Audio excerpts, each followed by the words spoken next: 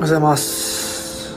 自分は朝起きたらすぐにあのえっと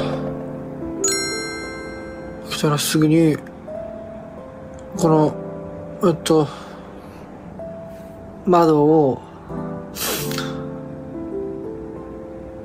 窓じゃなくてカーテンを開けます。で日差しを浴びるのが自分のルーティンでございますね。うん。眠たいんですけど。起きます。皆さんも。頑張りましょう。